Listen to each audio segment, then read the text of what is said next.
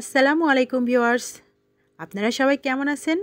আশা করি আল্লাপাক আপনাদেরকে খুব ভালো রেখেছেন। আপনারা সবাই সুস্থ থাকেন, ভালো থাকেন। আমি সেই দোয়াই করি। আমার আপু ভাইয়ারা, আপনারা সবাই ভালো আছেন তো? আমার সাথে আছেন তো আপনারা সবাই? আজ আমি আপনাদের জন্য চমৎকার একটা সহজ রেসিপি নিয়ে হাজির হয়েছি। এতক্ষণে বুঝেই গিয়েছেন আমি আজকে কি তৈরি করেছি। আজ আমি ভাপা পিঠা তৈরি করেছি। ঘরে থাকা উপকরণ দিয়েই শর্টকাট খেতে মন চাইলো আর তৈরি করে নিলাম, বাচ্চাদের বায়না পূরণ করে নিলাম। আমার ছেলে আজকে ভাপা পিঠা খেতে চাইলো, তাই আমি ঘরে থাকা শুকনা গুঁড়া দিয়েই কীভাবে পারফেক্ট ভাপা পিঠা তৈরি করেছি সেটাই শেয়ার করতে যাচ্ছি। এই পিঠাটা তৈরি করার জন্য প্রথমে আমি এখানে নর্মাল টেম্পারেচারে থাকা পানি নিয়েছি, তার সাথে স্বাদমতো একটু লবণ গুলিয়ে নিলাম। এখন আমি শুকনা চালের গুঁড়া মেখে নেব, এই জন্য এই পানিটা লবণ দিয়ে গুলিয়ে নিয়েছি। এখানে আমি শুকনা চালের গুঁড়া নিয়েছি, এটা ফ্রিজে ছিল। ফ্রিজ থেকে আমি আরও ঘণ্টা চার পাঁচেক আগে বের করে ঠান্ডাটা কাটিয়ে নিয়েছি। এখন এটার মধ্যে এই লবণ গলানো পানিটা একটু একটু দিব আর মেখে নিব। শুকনা চালের গুঁড়াটা কিন্তু মেখে নিয়ে কিছুক্ষণ রেস্টে রাখতে হয়, তাহলে চালের গুঁড়াটা খুব ভালোভাবে ভিজে যায় পিঠাগুলো খুব সুন্দর হয়। আমি কিন্তু এইভাবে একটু ভেজা ভেজা টাইপের করেই চালের গুঁড়াটা মেখে নিয়েছি। এখন একটা চালনি দিয়ে চালের গুঁড়াগুলোকে চেলে নিব, তাহলে খুব সুন্দর মিহি দানা বের হবে। পিঠাটাও খুব সুন্দর দেখতে লাগবে। একদম মিহি দানা বের হয়েছে, আমি এভাবে চালনি দিয়ে চেলে নিয়েছি।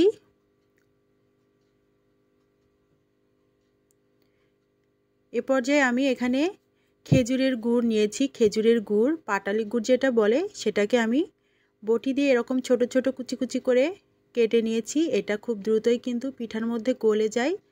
এজন্য আমি এভাবে ছোট ছোট করে কেটে নিয়েছি। আপনারাও কিন্তু একটু ছোট ছোট করেই কেটে নেবেন।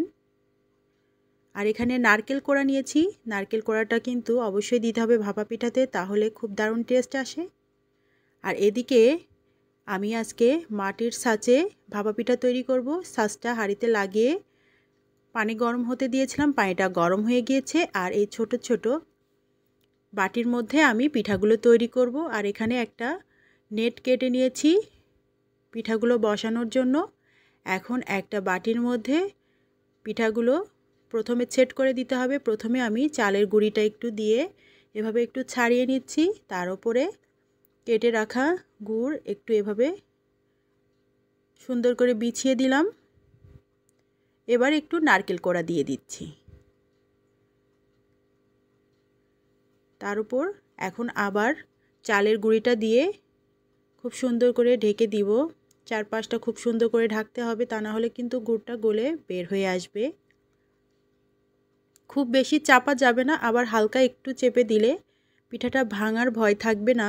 এভাবে আমি দুইটা বাটি সেট করে নিচ্ছি। আপনারা চাইলে নারকেল কোড়াটা কিন্তু এই চালের গুঁড়ির মধ্যে মিশিয়েও দিতে পারেন, আবার আরেকভাবেও তৈরি করতে পারেন। নারকেল কোড়াটা এই গুড়ের সঙ্গে মেখে একসাথেও দিতে পারেন। আসলে এটা যার যেমন পছন্দ সেভাবে এটা তৈরি করে, সবভাবেই তৈরি করা যায়। আজকে আমি সব এভাবে আলাদা আলাদা করেই তৈরি করে আপনাদের দেখাচ্ছি। সহজভাবে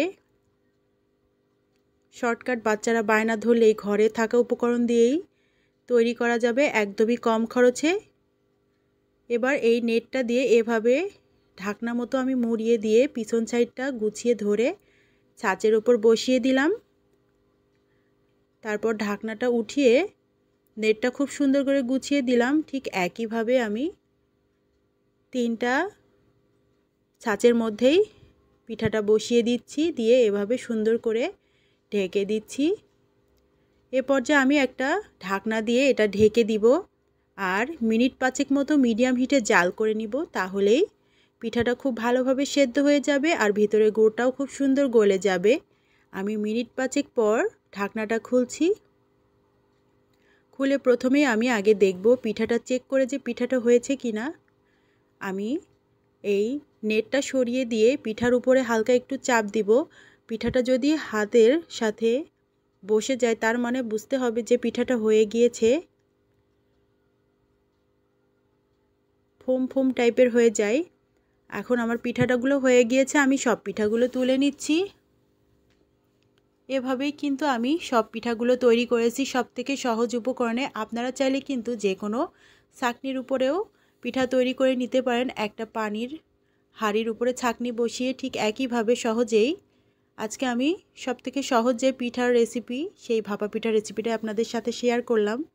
ভালো লাগলে অবশ্যই লাইক কমেন্ট শেয়ার করবেন। আর আমার ভিডিওটা এতক্ষণ দেখার জন্য আপনাদের সবাইকে ধন্যবাদ। আপনারা সবাই ভালো থাকবেন, সুস্থ থাকবেন, আর আমার সাথেই থাকবেন। আল্লাহ হাফেজ।